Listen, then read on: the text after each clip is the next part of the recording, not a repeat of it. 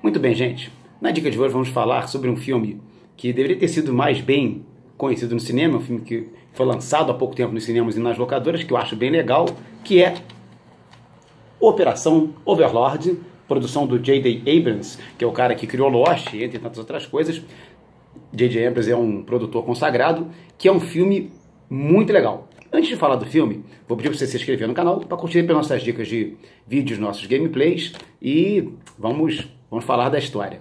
Operação Overlord é uma superprodução, produção assim de primeiríssima linha, que conta a história da invasão, da, da abertura da segunda frente de, da guerra na Segunda Guerra Mundial, que é a invasão da França. Só que um comando aliado ele tinha que ir até uma torre controlada pelos nazistas e destruir essa torre. Era fundamental para que o plano da invasão lá na, da França, né, na Normandia, desse resultado. Só que depois de uma série de circunstâncias, uma série de batalhas, eles vão naquelas vilas da França, conhecem a menina da resistência, várias situações acontecem, conhecem um coronel alemão que é terrível, né, cara extremamente cruel. Eles chegam a essa torre e descobrem que vão lutar com algo além do natural. Os nazistas desenvolveram uma espécie de super soro que deixa os soldados como super soldados, só que os caras bestiais, quase é, é, zumbis, umas coisas assim horrendas, monstruosas. E eles agora vão ter que lutar contra aquelas criaturas, dar cabo daquilo e fazer a missão. E toda a coisa começa a desenrolar a partir daí.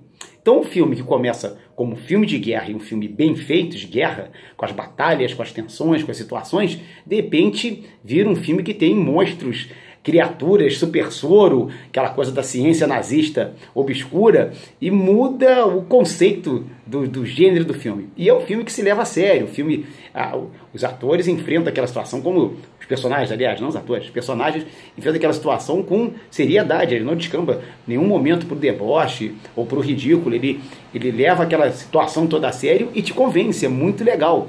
Então é um filme muito ágil, muito divertido, que brinca com os gêneros. Brinca entre aspas, né? Porque a história se leva realmente levada a sério. Cria vários personagens bem interessantes e tem um desenvolvimento, um ritmo muito legal. Operação Overlord, que é um filme novo e deveria ter sido assim mais conhecido, deveria ter sido mais divulgado, mais mais visto, vale a pena comentar, vale a pena assistir. Se for o teu estilo, aquele filme de ação bem legal, bem divertido, aquele cinema é ágil, vale realmente a pena assistir. Produção é ótima, é cheia de bons atores e uma história que está muito legal e muito bem contada. Não deixe de curtir nossas dicas aqui no nosso canal sempre. Até a próxima.